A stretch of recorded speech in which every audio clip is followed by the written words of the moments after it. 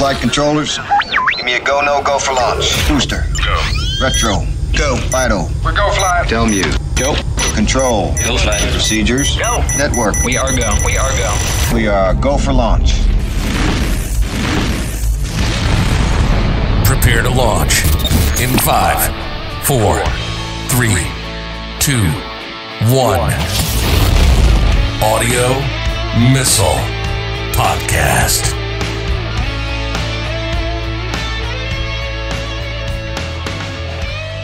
And we're back.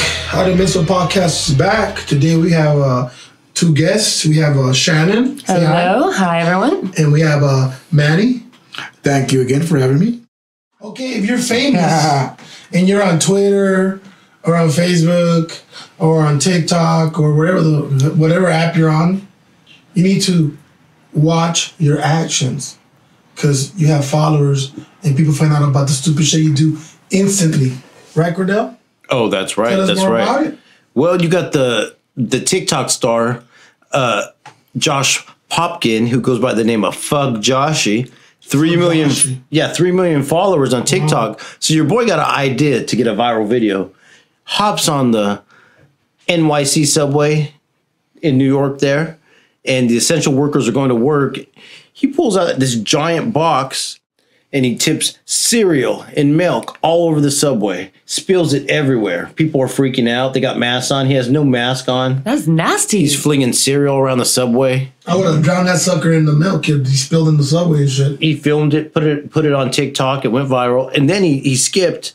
And so now, So the- isn't that like some kind of crime? I mean, I just can't go on the subway and fucking do anything crazy like that, dump shit in the middle of the aisle. Wouldn't that put- get me in trouble? so now the police are looking for him. Yeah, you you should go to jail for some shit like that. yeah, like coughing on the produce at the store and stuff like Well, that. Well, you're in the middle of a pandemic, first off, and you're doing stupid shit like that. You must have really a lot of time, or you're really fucking privileged with no fucking sense of reality. You know, he he does these little stunts, and they go viral a lot. But this time, Like Jackass. Yeah, yeah, kind of like Jackass, you know. And so uh, that leads us into uh, the next homie who did something online. What app was he on? Uh, cuts like a knife on Twitter and Instagram. Oh, shit, Your favorite song, "Cuts Like a Knife." Cuts like a knife. Bryan Adams. Oh shit. Yeah, the, the famous Canadian musician uh, Bryan Adams. He was about to go on tour. So he's Canadian? Yeah, And he's in controversy, Yeah, involved in he is. controversy right now? yeah, he is Canadian. Oh wow, what happened? Not Well- against the only Canadian that gets involved in shit. Justin Bieber was in shit all the fucking time. Right, So let's right, continue. right. And what Well- happened? Well, this is what happened. Uh, he was gonna do a tour, at, actually at Tennessee, at uh, Royal Albert Hall, which is a very uh, upscale, famous Well, place. Yeah, yeah, yeah. Led Zeppelin. Yeah. A lot of big bands. Oh, of course, of course, live from Royal Albert Hall. Well, guess what? They canceled it due to coronavirus. And he, instead of being a good sport like everyone else, he got pissed. He went on Twitter and said, "You know what? Tonight I was supposed to be the beginning of my gigs at Royal Albert Hall." But thanks to some fucking bat eating, what? yeah, greedy bastards. Okay, first oh my god. what's wrong with eating bats? Bats are delicious. That's what it stands for. BAT. Yeah. I've heard that. Bats Vampire are bat. delicious. B-A-T. They drink the blood of other animals. Well, here's the thing that people don't know about bats. They can uh, carry a disease like Ebola or rabies or something and pass it on without getting sick.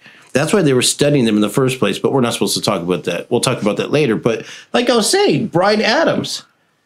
At the Wuhan laboratories. Yes. And so cuts like a knife. And as he was talking shit, he had cuts like a knife playing in the background. Oh my god. he promoted Just himself so at he, the we all same know how cheesy he really is. senseless promotion, like you know, our shameless promotion. Some people, even as they're ranting and raving, they still gotta. Well, you know what? Some people get angry and they don't think about what they say and they just shout out, blurt out whatever the first thing that comes to their mind. And I've done that before, but I'm not famous. well, he deleted it, just so you know, like they all do. Once you push The cathartic it's fucking rage. Forever. Somebody screenshotted it, recorded it. You know, it's, out called the forever. it's called the Wayback Machine, and that literally is the name. You go on Google, type in the word Wayback Machine, type in anybody's name that you want to know, and it'll pull up all their old shit that they deleted. The dirty, dirty, dirty. You are listening to the Audio Missile Podcast. Technology is not your friend. Oh, Okay?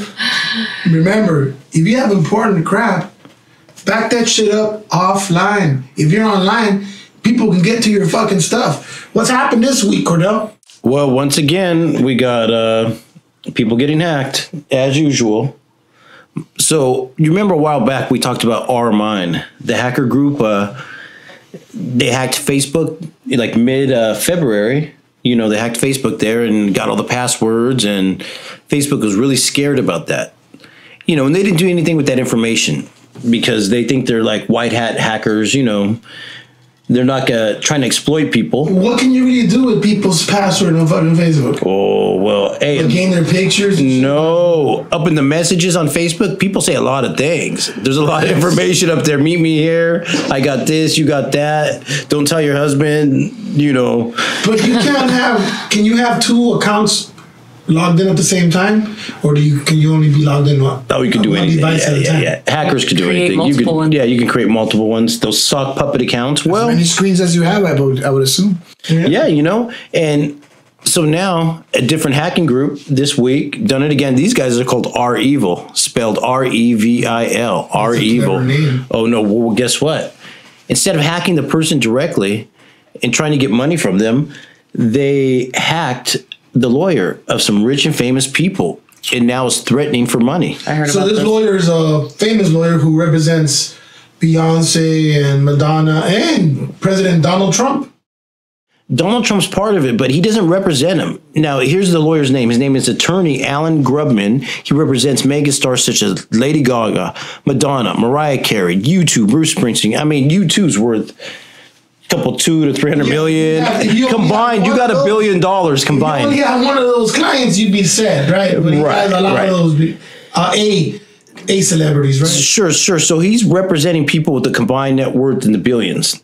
You know, these artists, and um, So he's successful and he's rich. Yeah, so he hacked into the to the lawyer's uh, website. It's to a server actually, and he got 756 gigabytes of confidential documents on all these different offers, uh, and he wants 42 million dollars. Only That's well, they want 40 million. I mean, it's a hacker group. They can go with 42 Well, I million. Bill. look if you have shit to hide and you're like really wealthy. I mean, forty two million dollars is is nothing to keep that quiet.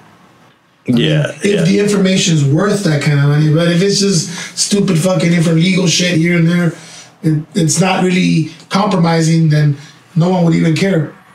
Yeah, no, I, I I agree, my man. You know, we've said uh, many a time, technology is not your friend. We talk about the ring. We talk about um, so many things that have got hacked.